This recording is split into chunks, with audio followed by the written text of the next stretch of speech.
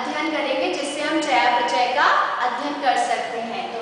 आज हम देखेंगे कि किस तरह सूक्ष्म जीव उत्परिवर्तियों में जेनेटिक या आनुवांशिक ब्लॉक उत्पन्न करके हम उनका उपयोग चयापचय के अध्ययन में कर सकते हैं। तो सबसे पहले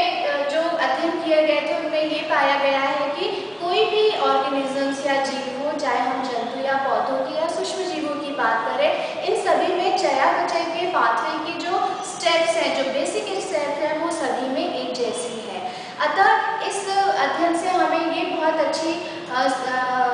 सूचना मिलती है कि हम सूक्ष्म जीवों में उपापचयी पाथवे का अध्ययन करके हम पता कर सकते हैं कि बड़े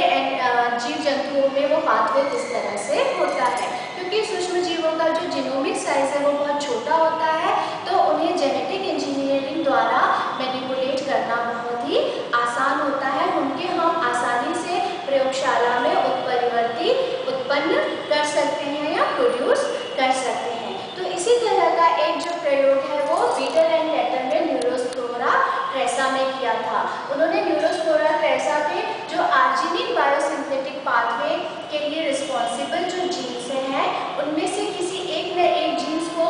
ब्लॉक करके डिफेक्टिव करके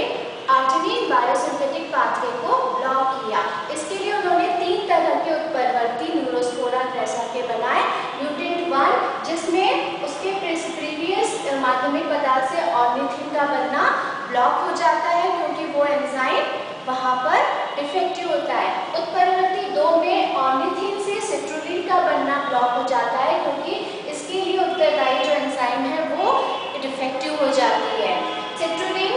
ब्यूटिन थ्री में उन्होंने सिट्रोलिन से आर्जिनिन में परिवर्तित होने वाली एंजाइम को डिफेक्टिव किया जेनेटिक मैनिपुलेशन के द्वारा, जिससे सिट्रोलिन से आर्जिनिन नहीं बन पाता। इस तरह उन्होंने तीन म्यूटेंट ड्यूरोस्पोरा क्रेसा के बना के ये देखा कि ये तीनों ही म्यूटेंट जो हैं वो आर्जेनिक की उपस्थिति में मीडिया में ग्रो कर जाते हैं, उनकी वृद्धि होती है लेकिन म्यूटेंट वन जो है वो ऑर्निथिन की उपस्थिति में तो आर्जेनिक बना लेता है लेकिन अगर हमने ऑर्निथिन प्रोवाइड नहीं किया तो वो आर्जिनेट नहीं बना पाता। म्यूटेंट टू जो है वो सिट्रोलिन की उपस्थिति में ग्रो कर जाता है क्योंकि वो आर्जिनेट बना लेता है। लेकिन म्यूटेंट थ्री किसी भी